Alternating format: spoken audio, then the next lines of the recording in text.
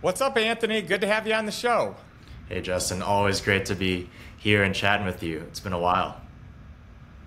Well, this is going to be a lot of fun. There's a ton that we can cover. Uh, you and I have been huge fans of wine and the wine world and wine by investment. I not too long ago had my sommelier on the show, and uh, we had just this epic trip. I mean, we've, we've been doing these really cool wine parties, but we had this epic trip to En Primeur in Bordeaux and went to Is like it? all the crazy parties, the Great Gatsby-esque parties that they throw, and, and the who's who that you rub elbows with. I mean, it was a really cool experience in Bordeaux here. Uh, and so I'm, I'm excited to kind of, you know, tie a bow on all this wine stuff, all the wine uh, investment opportunity, all the wine, um, you know, enjoyment, consumption. I've done several episodes on it, and I'm, I'm really excited to uh, kind of wrap the, the wine sessions here with you. Absolutely. Well, that is one of my favorite topics, so excited to dive in and chop it up, Justin.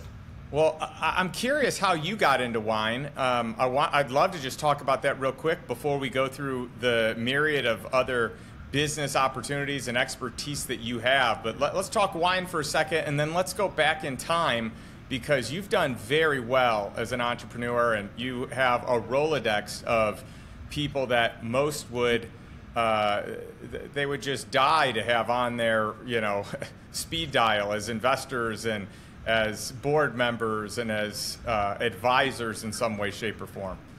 Yeah, absolutely. Well, let's start with let's start with wine. So I was born here in the states, but I actually grew up primarily in Asia. So I grew up in Hong Kong, in Beijing, and you know, in the early 2000s, that's when Bordeaux was becoming all the rage in China. So I just remember just hearing about, oh wow, French wine, especially wine from Bordeaux, right? And you think of the great first growths, right? Mouton, Lafite, Haut-Brion, right? Cheval Blanc, right? Those are all of the ones that um, were just really so coveted, right? It's really when the French market was starting to hit Asia. Those exports were really rare and hard to come by. And I always thought wine was really cool because of those reasons, right? It was like, wow, this is one of X many bottles that even made it into China this year, right? And once you drink it, that means there's X minus one left, which makes the remaining supply that much more coveted. Um, and you know, kind of forgot about it when I went through you know high school and and beginning of college. But it wasn't really until I met my now wife, who's a huge wine lover, by the way, um, that started rekindling my passion for wine. Right, we were huge foodies, going to nice restaurants, and with nice menus, right, you have nice wine list, and just me wanting to impress my wife started researching right i didn't want to be a fool and not know how to pronounce the right wine or the right pairing and that passion kind of led to us taking our first trip to bordeaux now nearly 10 years ago and that's really when we fell in love you know we learned more about the agricultural element of it the the historical part of it the family owned aspect of it and then it wasn't until a few years later when I started my own wine collection that I became more acquainted with the secondary market, right? The, the undeniable economic gain that you can have by owning and storing and collecting wine.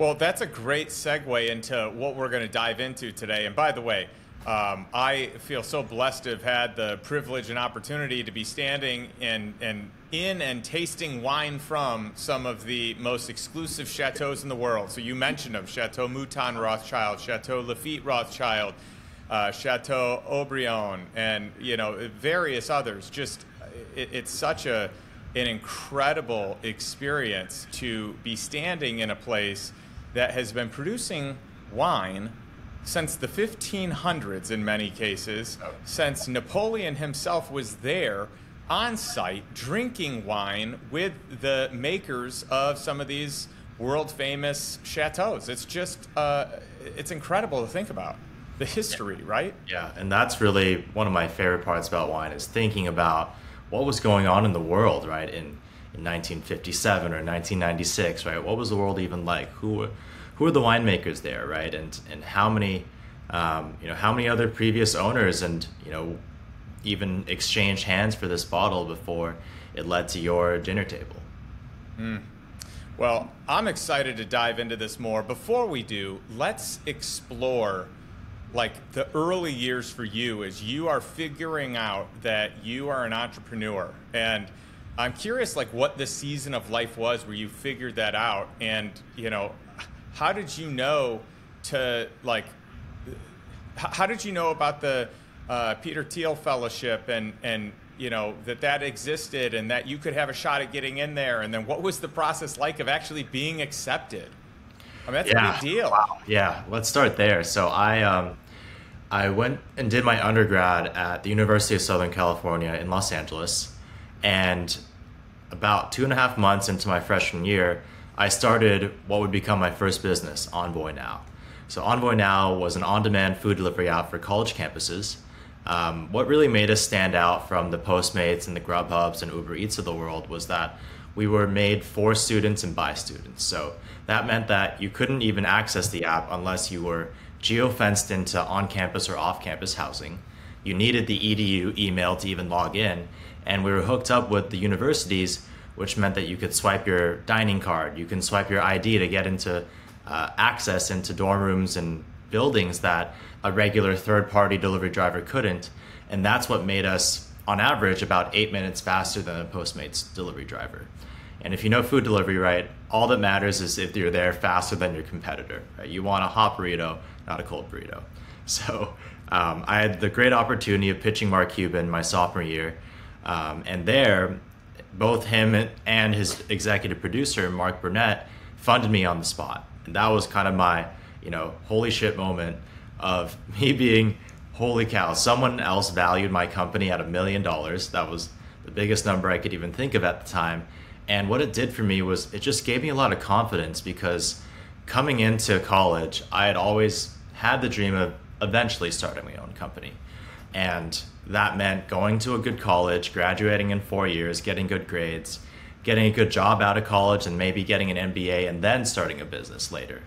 And even though I was having great traction and working a lot on Envoy Now, I never really saw it as like the thing to really dedicate my life to.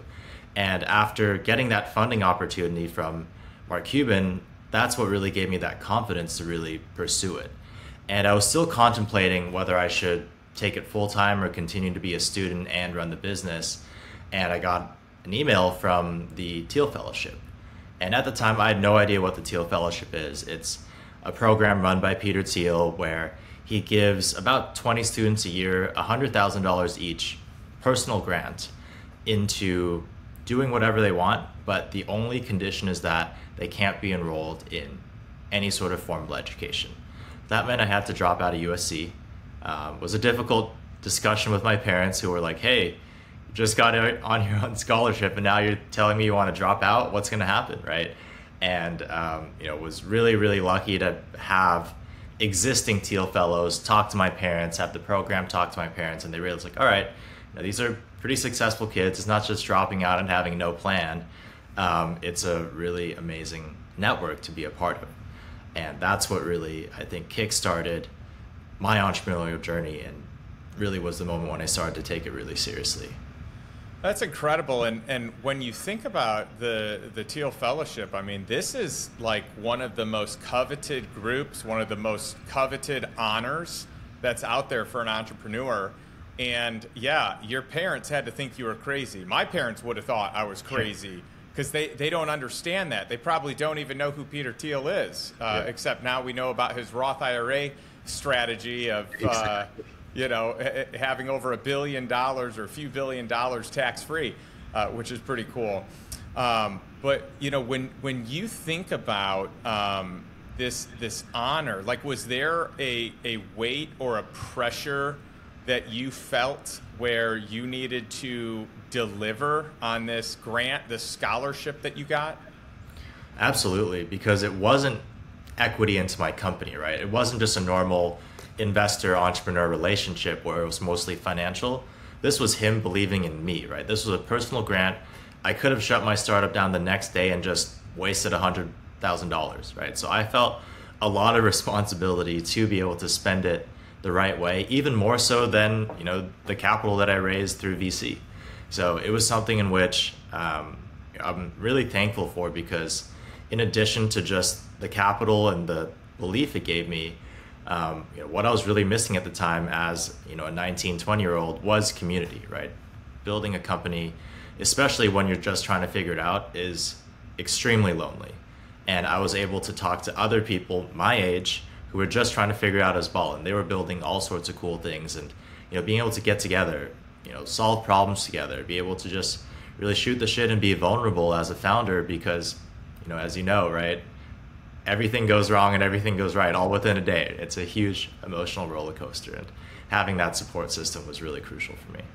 What a great network to have. I mean, I talk all the time about how important your peer group is, how important it is to have mentors, um, and, and, and really like this this level of access, this level of of playing the game of business and life and thinking and education at a higher level. I mean, that's what you do when you open up your peer group uh, to people that are playing in these different sandboxes, right? And, and just the big leagues, right?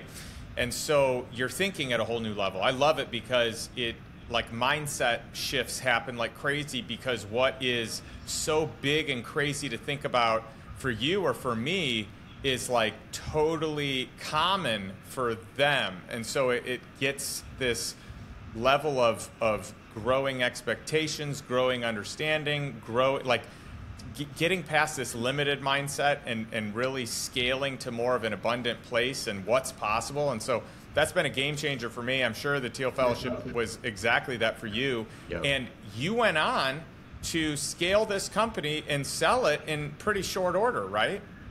Yeah, although it didn't seem like short order, right? It was. Uh, I was running the business for about three years at the point.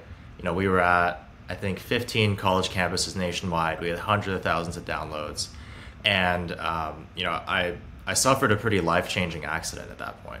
Um, I broke my spinal cord in a pretty tragic accident in which I was immediately paralyzed from the neck down. I, oh my goodness.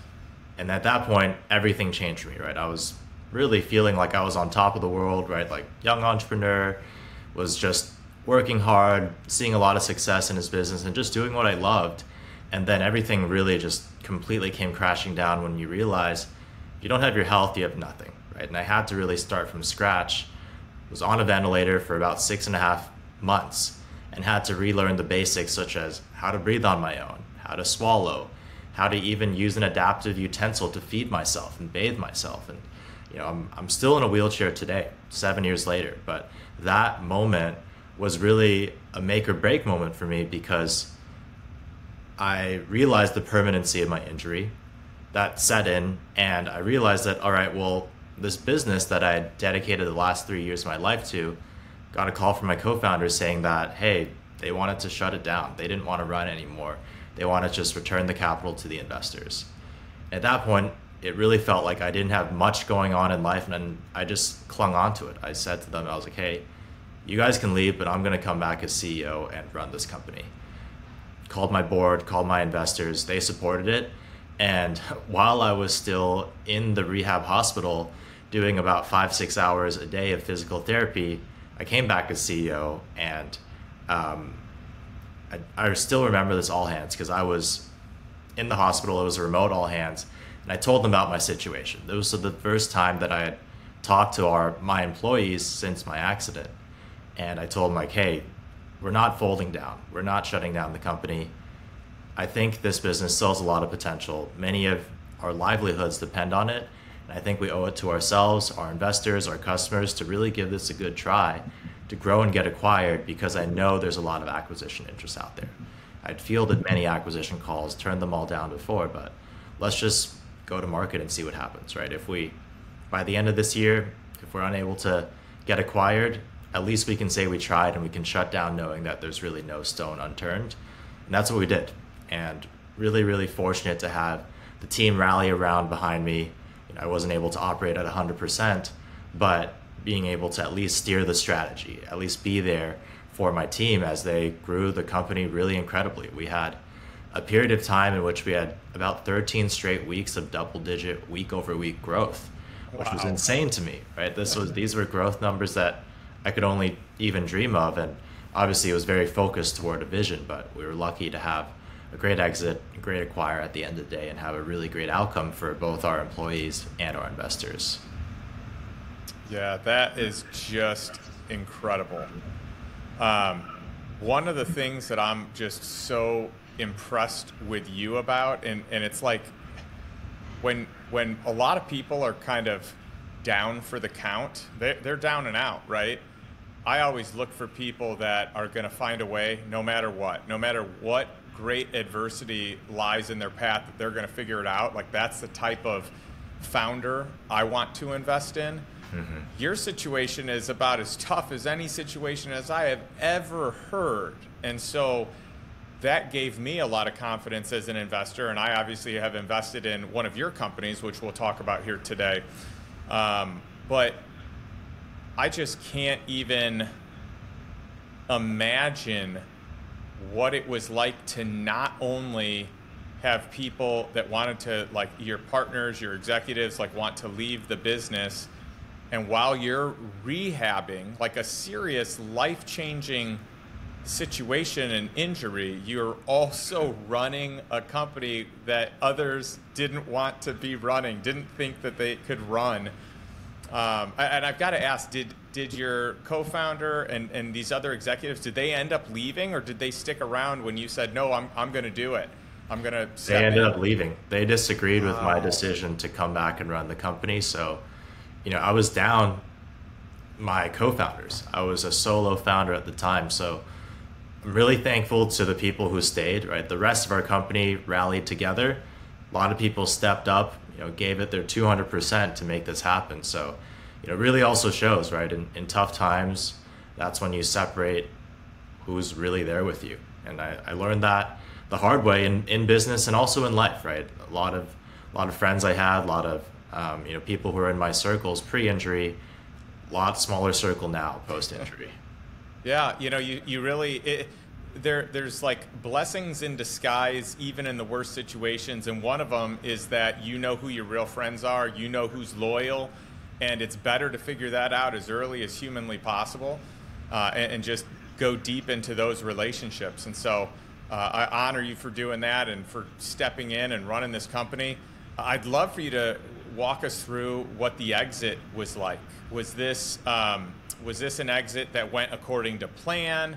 In the 11th hour, did they try to change the terms like a lot of companies do when they try and lowball you or, or you know, tweak some of the terms in their best interest, hoping that you have deal fatigue by then? Did you get the numbers you wanted? Did you have a good multiple? Uh, let's walk through some of that. Yeah, absolutely. So, you know, in this was to give everyone a sense of timeline. This was in 2016. So, there was a lot of consolidation happening in the food delivery space, right? It's a really kind of like a market grab, land grab type of business where if you're having the most delivery drivers, you have the most customers, that commands you to be able to go back to the restaurants and get the best margins, right? And it was really a race to zero when, say, an Uber Eats versus a Grubhub are both competing in the same town. And the only reason they're getting customers is by discounting their delivery fees, right? Or offering free fees or promos. So there's a lot of M&A activity happening. We had multiple bidders. And at the end, I'd say in terms of acquisitions, it was it was quite smooth, right? The the CEO of the company who acquired us, very very good terms on even till today, and he didn't change anything on us. He recognized wow. our value, right? And it wasn't the highest price. We had another company that was going to bid, you know, quite a bit above what he did, but I think at the end of the day, we wanted to retain the future of our employees in addition to preserving shareholder value and we knew that with a larger company they would just kind of chop the company up and and kind of not really retain what made envoy now special in in these college markets.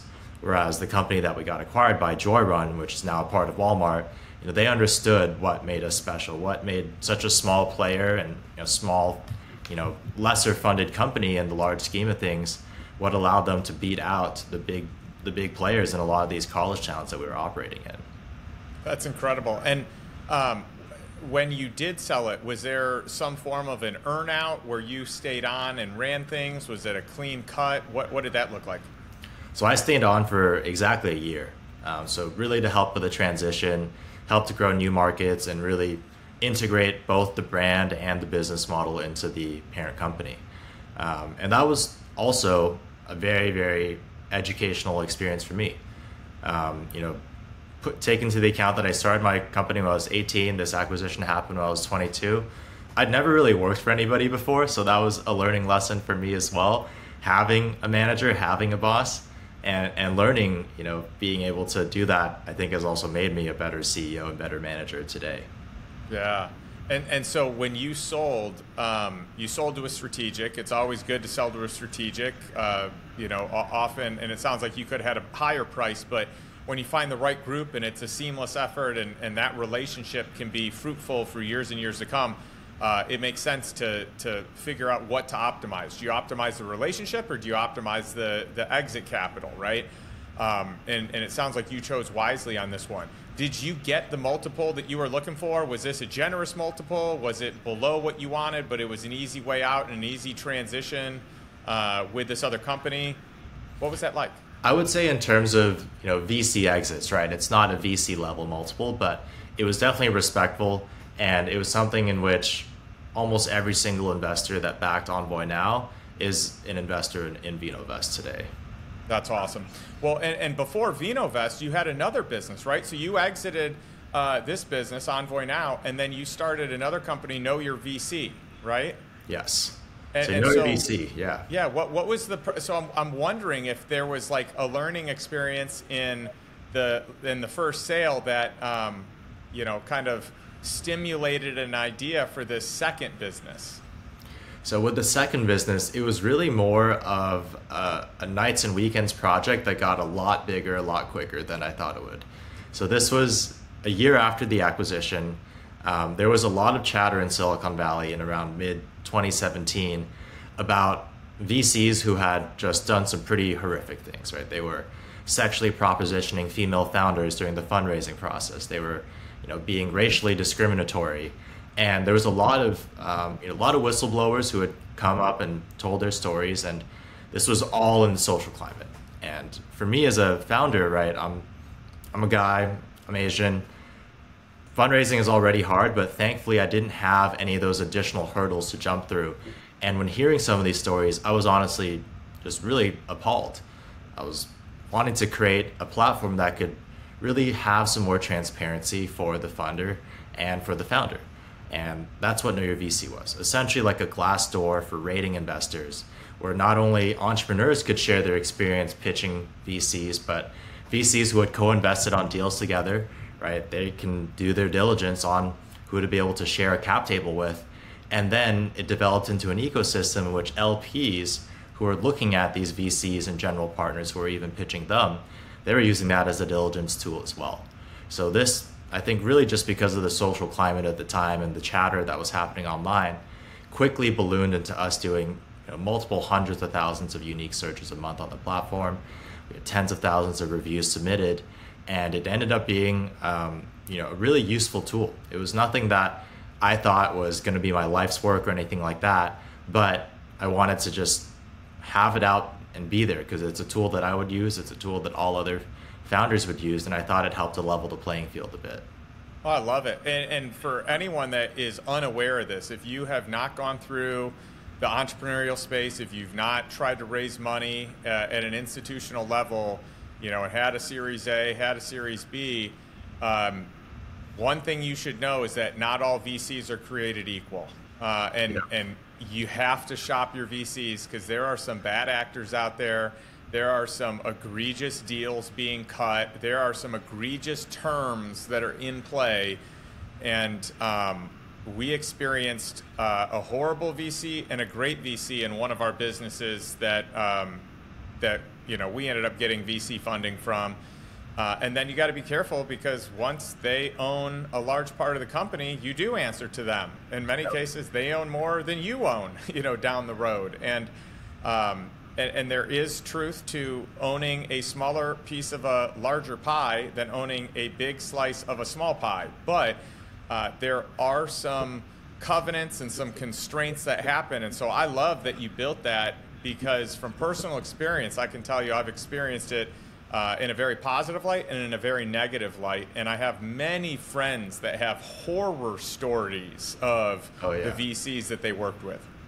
Yeah, that could be a whole other episode, right? Sharing those Yeah. horror stories. And I think also, right, something to note is the power imbalance, right? You're literally hand in hand asking for money for your business to survive, and they're the ones with billions of dollars to deploy, right? So there's also that dynamic, which I think is not really talked about enough, where even if you do have a terrible experience as a founder, you're really afraid of even sharing that because you're afraid it's going to get back to the VC and they're going to blackball you, right? And that's why That's we wanted to create a safe place that was still vetted, still anonymous. You know, we're doing all the work to verify the information, but the founder's identity is protected. That's right. You just raised money in your Series A. You don't want to get blackballed because you're going to need money most likely in your Series B and Yep. potentially beyond, right? And by the way, the other thing is uh, if you blackball some of these VCs, then they tell all of their uh, VC buddies, and it becomes a lot harder. So yeah, it's it is an interesting situation to be in as a founder and and as a team that needs to raise money for your business to take it to the next level. If you're not bootstrapping. Exactly. And by the way, bootstrapping can be a great strategy as well because you, re- get, you you retain control of the company. It's probably just a lot longer of a play, and some people want to accelerate it by getting the capital in the door. So, you know, truly pros and cons to each strategy, and um, each strategy can be a great one depending on what your outcome is for your business. Yeah, and, and unlike the first business envoy now in which we raised VC funding, Know Your VC was completely bootstrapped. We wanted to stay neutral, right? Not take VC capital in and then have potential conflicts of interest down the line when we're publishing content about that specific VC. So I've been on both sides of the table too. There's definitely a nice sense of freedom on the bootstrapping side, but you also have to deal with the cash constraints as well. Yeah, for sure. And and um, you from there went on to take a leadership position with Blockfolio. So you got into the crypto space. Um, and, and by the way, I used to love that app because that, that was what I used as like my real time, uh, you know, updates for everything going on, all the pricing, everything. Um, you know, interesting situation. You know what happened to them because I believe they got um, uh, bought by FTX, right? And then we know what happened with FTX here. Uh, but I- I'm curious of what your time in that space was like, uh, being on a leadership team of a monster company in the crypto space. Yeah, so I think like many others, right, in the late 2016, early 2017, caught the crypto bug. And just like yourself, right, Blockfolio was the app of choice. I was refreshing that damn thing like like none other, right? And um, because of that, I was able to just give some feedback and talk with the customer support. And the team was really small at the time, so I didn't realize I was talking to one of the co-founders on the other side of the chat and I was just giving him ideas, and we were talking, and you know, he saw how passionate it was. He's like, hey, you know, why don't you just come on board and work with us? It'd be pretty cool. I was like, yeah, that'd be pretty cool. I was just, you know, just had kind of, you know, exited Know Your VC, um, and was looking for my next thing, and let's join an industry that was so exciting to me, and being in crypto for about three years throughout you know 2017 through early 2020 i was able to experience both the booms and the busts right? The, the run up of 2017 huge crash of 2018 and then the sort of no man's land crypto winter of 2019 into into 2020 before things started getting hot again. And i learned a ton right? Not only as the head of marketing with um, at the time you couldn't even advertise on facebook and google right advertising crypto related products was it was banned. So as a head of marketing, when you don't have Facebook and Google, you know you're you're kind of having to do a lot more creative things. And there I learned more about different channels like affiliate marketing, influencer marketing, right? Working just organic and grassroots. And it was just a pretty incredible time getting to meet some really incredible, passionate people and very, very thankful for my experience at Blockfolio because it led to me meeting my now co-founder, um, Brent. We're now co-founders at VinoVest. He was the head of design at Blockfolio. I was the head of marketing, so you know, we collaborated a ton. And there we developed our mutual working styles, a relationship and respect for each other, and then also uh, turns out he loved wine too. So we got along pretty well in many different ways. Oh, I love it. So now we're fast forwarding to you uh, stepping out on a limb to start your third business, and, um, and and this one being VinoVest in the vino space, in the wine space. And um, early on, so I, I believe I was uh, amongst your first investors in your seed round uh, when I first learned about you and heard your story and was totally impressed and blown away and knew that I wanted to be part of this because number one, uh, I believe in investing in uncorrelated assets, which we can get into. And number two, I love the element of scarcity inside of those investments. So anytime you have a limited supply, uh, that often is going to influence demand. And then when that asset class is uncorrelated to the stock market, it gives a nice hedge uh, as an overall piece of the portfolio. And so I saw this as a great play um, for me as an investor where I could invest in the company uh, at the beginning. So that's more of the high risk investment, which um, for me personally, uh, I, I, really only do seed level investments and, and, early stage investments from cash flow that happens uh, through asset ownership. So uh, I decided the riskier type of investment for me was going to be done with just a monthly distribution of cash. So that way, if it didn't go well, I wasn't eliminating the principal. I had already invested that into an asset.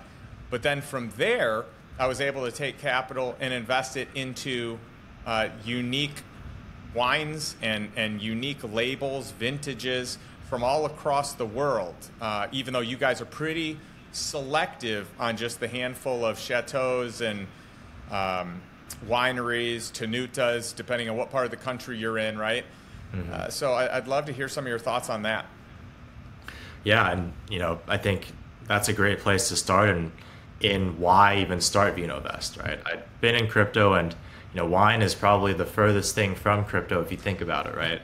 One thing is less than 10 years old, the other has been consumed and enjoyed since maybe even 8,000 years ago, right? And the way that people make wine really hasn't changed since then. And I think what really united and connected the dots for me and made Brent and I want to take the leap was exactly your point, the scarcity element, right? It's something that you can only, you know, from a, a vineyard, right, only maybe make 100,000 bottles from this plot of land. Every single year, as somebody cracks open a bottle, enjoys it with their family, there's just one less and one less, right? And that makes the remaining supply that much more scarce, which pushes the prices up. And then there's also the, you know, the maturation, the bottle factor, right? That's kind of the X factor in which wine actually changes over time. It doesn't really matter if a Bitcoin is just mined off the block or 10 years old. The Genesis, you know, Bitcoin, right? That's still fungible and the same. Wine appreciates, and people do tend to put a premium on older wine. So, with those two factors, just from an economics principle, made a lot of sense to me. And I wanted to be able to get access to it, but looking at the existing options out there, I wasn't able to find an intuitive and tech friendly way to be able to efficiently deploy capital. And just with what's inside me, I was like, all right, well, if there's nothing good out there, let's build it ourselves. And that's why VinoVest exists. Oh, it's so cool. And so basically, what you did is you said, all right, we've got this uncorrelated asset class in wine. And, and, and again, just for clarity's sake, because I talk a lot about uh, you know, in the Lifestyle Investor Mastermind, one of the things we always talk about is uh, asset allocation and what do the billionaires do? What do the centimillionaires do? What do the wealthiest people in the world do to protect their portfolio?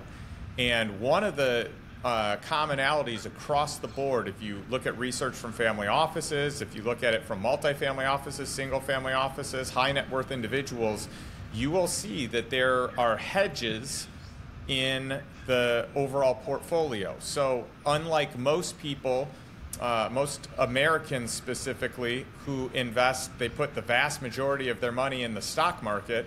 Mm-hmm. The wealthiest people in the world put only about a quarter um, of their net worth in the stock market. So, they got about 25%. and everything else goes in other areas. It might be real estate, might be private equity, might be fixed income, uh, might be cash, cash equivalents. Uh, but then you start getting into you know some of the hedge funds, some uh, you know private credit, um, and, and, then you start getting into um, for some people it's currency, uh, for some people it's infrastructure. For some people, you know, it's uh, you, you, can even delineate down on that private equity side into VC. Uh, but we can break it all the way down into other uncorrelated asset classes. Uh, so some people really like art. Some people like artifacts and, and historical documents. Some people like cars and watches. Uh, so all these different things in the collectibles. And so wine uh, falls in there. And we should also mention bourbon, because this is a new thing that uh, now the platform VinoVest has availability on. Uh, and I'm proud to say that I've invested in a bourbon barrel with you guys. We can get into the specifics there, but yeah. I just love looking at an overall asset allocation that has a little bit of everything. It has, you know, we didn't talk about, you know, commodities, but like all these different aspects. And some of these, you know, and, and we didn't mention crypto, right? But like some of these family offices have a half a percent or 1% in some of these areas uh, to the point that they're not putting all of their assets there, but they're putting some of it because it's, it's a smart way to win when the stock market, for example, is losing. Absolutely. I think, you know, to your point, right, looking at what the wealthiest do, it's really a larger concentration to alternatives than what the 60-40 stock portfolio, bond portfolio is, is suggesting, right? And I think if you look at the billionaires and centimillions in the world, how many of them do you think own a wine cellar? How many of them do you think have a whiskey collection, right? Almost all of them, I'd be venturing to say. And I think even if they don't consume it because yep. it's a good investment, I think a lot of them consume. You know, for me, like I like to. My goal is that I make money on wine and I can drink for free, and same thing with bourbon, right? Uh, but but there are other people that they don't even consume it. They're doing it strictly for investment sake. Yeah, and, and that's the secret that people don't tell you, right? Someone could have a massive 10,000 bottle cellar and you think they're going to drink it all, but there's no way one person can drink 10,000 bottles. The majority of that is for investment. Majority of that is to actually trade. So to your point, their profits off of those trades can offset the consumption part of their lifestyle, right? So there is this sort of cool lifestyle component to it that is really undeniable with you know wine, scotch, bourbon, right? And we also are able to kind of tap into that with VinoVest. Yeah, yeah, super cool. I love that. And by the way, there are certain um, certain chateaus, certain wineries that are kind of like your key wineries, the, the wines that you would want to invest in because they're so high quality, they're limited production, They've got a track record of, of great performance. Earlier, I mentioned three of the uh, first growth chateaus that I've been to, and I actually forgot that uh, we went to Chateau Margaux this last time, uh, nice. uh, which was a really cool experience. So I've actually been to four of the five uh, first growths there on the left bank, which is pretty neat. But why don't you run us through like some of these brands? I mean, it's all the first growths. I'm sure are part of it. Uh, Screaming Eagle, I think, is kind of like the the mainstay on the Napa side. I don't know if Harlan has has crept in, but I'd love to know like what are the what are the labels uh, and brands that you like best for investment sake. Yeah, no, this is getting into the the fun part that's close to my heart. So I think, you know, if we were to make the stock market comparison, right, to your point, the blue chips or the large caps are going to be your left bank Bordeaux's, right? So those top five first growths, maybe some of the super seconds, and then on the right bank, right, you've got some of the high end Saint-Emilion uh, labels, right? Like Chateau Ausone, right? Um, I went there this last time too. That's yeah. a cool winery. Yeah, Angelus as well, and then of course you've got the wines of Pomerol, which are unclassified, but you've got Les Pins and Petrus, right? So that's Bordeaux, kind of in a nutshell. Um, there are some sort of like mid cap or up and coming chateau there, but when we're talking blue chips, that's there. Um, and then when you're looking at other regions, right, it's hard to really deny Burgundy and Champagne as some really exciting regions, right? So everyone, almost everyone knows Dom Perignon, Cristal, right, Krug, right? Those are all wines that have been delivering 15 to 25% annual returns every single year for the past five to seven years.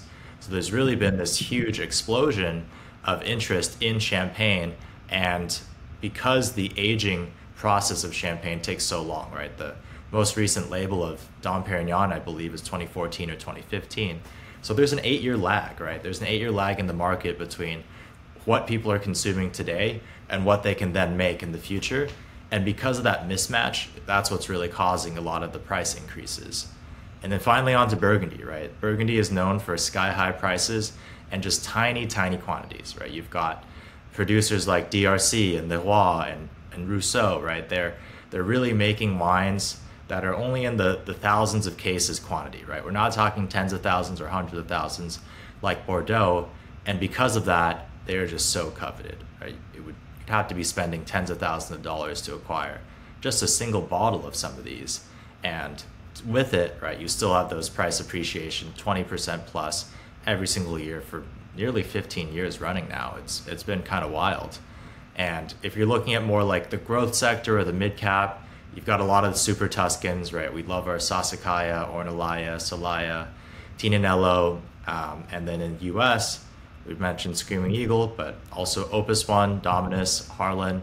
You know, they've all been performing really well in the secondary market. And then if we were going to go to our equivalent of emerging markets or sort of up and comers, we're looking at places like even South America, right? Chile, Argentina, um, maybe even some parts of Germany that have really great producers. Um, and of course, there's way more places that make wine in the world, but at VinoVest, we're looking for ones for investment value. So I could go on and on for drinking wines, but I'd say when we're looking at the circle of wines that we would invest in and that we would, you know, in, uh, recommend to a client, that that top tier is, is still pretty small. You know, it's only a handful of these wineries and chateaus.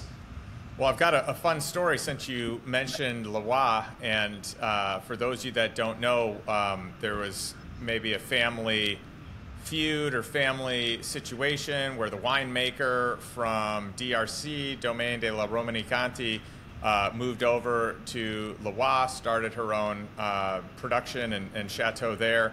Uh, and ended up becoming some of the best wine out there. And so, um, my sommelier, Mario, uh, and I and, and you can check out the, the episode to anyone listening now that wants to hear uh, that session, which was really fun. We talked about buying wine futures.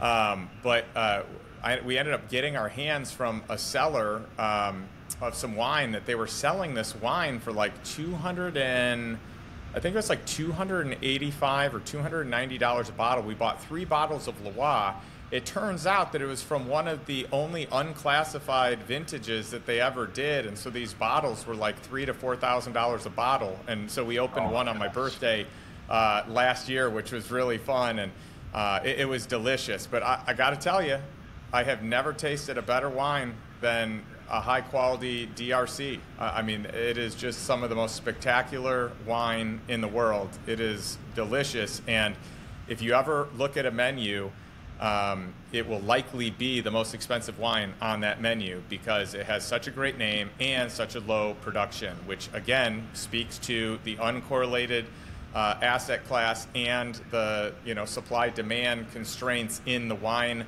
um, you know asset class, which is really cool.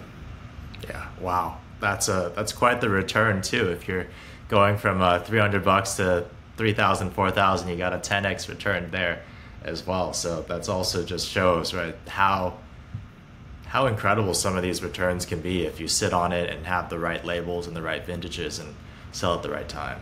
Oh, it's it's unbelievable, and and there's so much opportunity there because the reality is if you hold on to some of this wine long enough, you're going to make your money back. I mean, this is what I learned on the whole future side of things. You can buy wine at the cheapest price you'll ever buy it you know, getting allocation to wine futures, which is basically like this year, 2022 is a lower production vintage, which I like right out of the gates, and the wine tasted really good. So then to have the opportunity to be able to buy it at the lowest price, you can just sit on it for three, four, five years and sell it, and you're probably going to make 100% uh, or more on your money. And, and, you know, that's the cool thing about wine is you don't have to be all knowing, you just have to be patient. Yep. Patience is really the name of the game, right? Because there's really nothing that's going to speed up or slow down the aging and maturation process, right? Time is time. And then you've got global consumption. And when you have brands that year over year is coveted and where the demand exceeds the supply, to your point, you just buy the right wine, sit on it, and you'll be really happy a few years down the line. Totally. And, and, and by the way, talk to us a little bit about bourbon because this is the new thing that you rolled out, and I was really uh, pleased that you chose to roll out the bourbon barrels first uh, with our mastermind. We got first dibs before this was ever public, uh, yeah. and, and, I thought that was so cool that you did that for our lifestyle investors. Uh, tell us a little bit about how that came into play and, and why you like bourbon as a as an asset class. Yeah, so bourbon, I think, shares a lot of the same commonalities from a fundamental standpoint is wine, right? It's something in which you have to age it in the cask. And because every single year, right, you have what's called the angel share, right? There's a little bit of evaporation that happens in the cask. So if a brand new make was going to make 350 bottles of bourbon, probably by year two, year four, year six, maybe it's only 300 bottles, maybe it's only 250, right? It really depends on how it's being aged. And when you look at the prices at your retail store, right, a 10 year old aged bourbon is just going to cost more than a five year old one because of that time and because of the decreasing supply. So, with our new whiskey offering, we're allowing people to be able to invest in not just bottles of bourbon because once it's bottled, 10 years is 10 years. The real value accrual happens in the barrel. And it's nearly impossible for an individual to try to own and, and age a barrel by themselves which is why we're super excited to be able to offer this new level of accessibility and tap into what's a red hot market, right? We're seeing it. Every single bar now has got their, their bourbon special, their bourbon drink, and people are becoming much more attuned to that sort of craft and high end side of it too, rather than just picking off whatever's on the shelf and chugging it. Well, and you guys even have the opportunity to invest in uh, like one of the biggest name you know, Scotch whiskey producers in the world. Uh, so it's neat that you're getting, uh, because of your platform, you're getting doors open to you that most people in the world are never going to have access to, right? Yeah, and that's the beautiful thing about you know this market is that even the world's largest or most you know most coveted producers, they realize for them it's still a working capital issue, right? If if Diageo has a cask of Macallan for you know, say they know they're going to age it to 30 years, that's a 30 year expense where they have no cash flow and just expenses um, that they need to sit on. So we know that, all right, let's buy it for a few years. Our investors are very patient and we'll sell it back to them, right? And of course, they'll still have their markup when they bottle it and sell it and send it to the end consumer. So it's really a win win to be able to work with a lot of these distilleries and brands in helping them out with their working capital needs. Yeah, that's that's really cool. And and talk about the platform a little bit here. I know we're kind of getting low on time, but uh, I want to make sure people understand that um, this type of investment, you're not raising money for the company right now. I mean, that's it's been funded, you've been growing, it's been you know taking off. Um, but what people can do is they can have their own virtual cellars online, like you know many of our lifestyle investor mastermind uh, members and, and like i myself have so talk a little bit about that as we wrap things up yeah so what you'll get with vinovest whether you choose wine or whiskey or ideally both is direct ownership into the bottles and the barrels so all of our bottles are stored in temperature controlled warehouses many many of them are in europe in the uk and france where the producers are and then with our scotch, it's in Scotland. With our bourbon, it's here in the United States. And we just handle all of that authentication, custody, and insurance. You know, the tough part's about owning a real thing, right? A living and breathing liquid. And what we'll do is, as you're an investor with us, we give you access, commentary, market analysis, and tools to be able to know, hey, like what what's going on in the market, right? Why why is the price of this barrel going up more than the other one? And then finally, what we'll do is when it reaches its maturity window or maturity period, we'll help you find a buyer at the end of the road.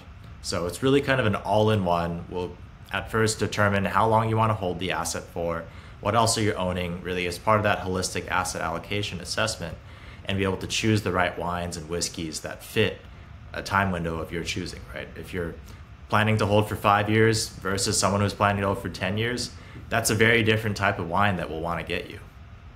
Yeah, and it's cool because if there's a bottle that someone wants to drink, they can actually take it. You can ship it to them, and they can, you know, have and enjoy that bottle, that investment that they can kind of hold in their per, your virtual cellar, right? Um, Exactly.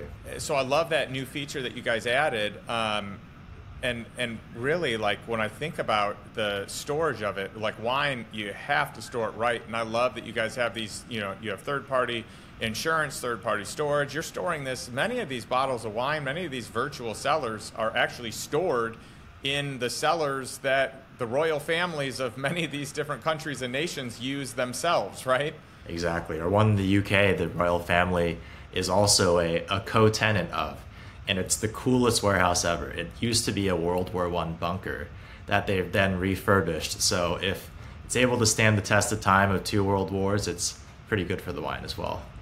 Oh, I love it. That's so cool. Well, Anthony, this has been awesome. Uh, I appreciate you sharing all the, the wisdom that you have and your stories and, and how you've had so much success. And I'm excited to have more people find out about the opportunity to, you know, really utilize um, wine as an investment vehicle, as an uncorrelated asset for those that it uh, fits, you know, some of their goals. So, where can people learn more about you and uh, VinoVest? So VinoVest is vinovest.co um, on the website, and you can reach out to me directly. I'm at anthony at vinovest.co. I read every single email, so really welcome everybody to come check it out.